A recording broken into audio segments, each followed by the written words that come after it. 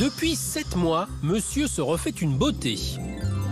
Le château de Montrottier à Lovany, près d'Annecy, en Haute-Savoie, vit au rythme des coups de marteau.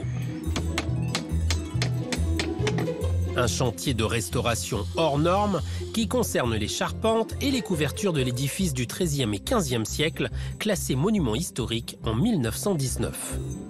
Chaque tuile est tracée. Ensuite, on fait ce qu'on appelle des gabarits. On amène à l'atelier. Les tuiles sont précoupées et on finit d'ajuster euh, sur place. Des tuiles uniques issues d'un moule spécial imaginé pour ce chantier dirigé par Jessica. Alors Fred, tout se passe bien sur le chantier? Parfait, ça avance plutôt pas mal, donc euh, on est assez... Ça sera terminé. On a deux modèles, deux formes. Une fer de lance, donc c'est celle qui est en pointe, et une écaille, celle qui a une forme arrondie. Et en plus, pour pouvoir avoir un, un panachage également et de forme et de couleur, on a deux teintes différentes dans les fers de lance et dans les écailles. Ces tuiles, comme la zinguerie, répondent bien sûr au cahier des charges des monuments historiques, mais aussi aux exigences imposées par le climat rude de la région qui, au fil des décennies, a eu raison de la précédente toiture. La Haute-Savoie est une terre de contraste climatique. La neige, le froid, le gel, les tempêtes. Alors évidemment, le bâtiment souffre énormément du climat et il faut régulièrement faire très attention, notamment aux toitures.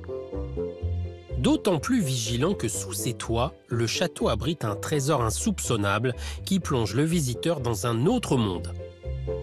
Plus qu'une collection, c'est un véritable cabinet de curiosités. À chaque pièce son univers, mobilier, céramique, vêtements, armes, des milliers d'objets de toutes les époques et provenant des quatre coins du monde. Certaines pièces sont même inédites en France, comme ces armures de samouraï japonais dotées d'un détail plutôt amusant.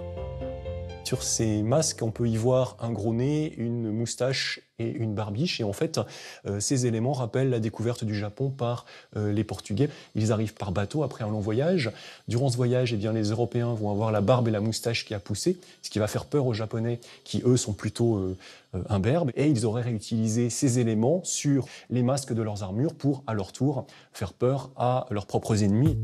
Cette collection un peu folle est l'héritage du dernier habitant de Montrottier. Léon Marès n'a vécu au château que 10 ans, de 1906 à 1916, mais le moins que l'on puisse dire, c'est qu'il y a laissé son empreinte.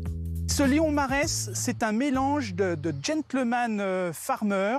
C'est un bon vivant, c'est quelqu'un de, de très jovial qui va importer d'ailleurs ici à Montretier une certaine excentricité, il faut bien le dire pour l'époque, dans la mesure où euh, Léon Marès est un collectionneur compulsif, on dirait. Il aime tout et il collectionne aussi les animaux exotiques. Donc imaginez ce parc qui a une centaine d'années avec des autruches, avec euh, un chameau. Et comme ici on ne fait comme nulle part ailleurs, les visiteurs continuent d'arpenter le château, même pendant les travaux. Ce château, j'y suis venu plusieurs fois, mais il y a peut-être une vingtaine d'années que je n'avais pas remis le pied. Donc, on le revoit toujours avec plaisir. Quoi. Nous nous sommes rendus compte très rapidement que les gens étaient absolument passionnés par les travaux qui se déroulaient au château. Donc on voit travailler les gens quand on vient à Montretier et tout devient concret parce que les ouvriers travaillent, on entend des meuleuses, on a des bruits. Et les gens, quand ils quittent Montretier après une visite, sont extrêmement sensibilisés euh, à la nécessité de, de maintenir, de protéger notre patrimoine dans ses aspects les plus secrets que sont les soupentes, les charpentes et les couvertures. Une belle façon de rendre hommage à ces artisans qui, quelle que soit la météo, sont au chevet de ces monuments qui font le trésor de notre patrimoine. Si on n'est pas passionné, euh, c'est pas la peine de, de faire métier. hein. On a besoin de compagnons couvreurs, on a besoin de compagnons charpentiers. C'est un métier d'art. Euh, puisque quand on voit une réalisation comme celle-ci, euh, ça peut pousser des jeunes à venir dans ces métiers-là. Et c'est des métiers qui sont fantastiques. C'est leur histoire, c'est leur couverture et leur charpente.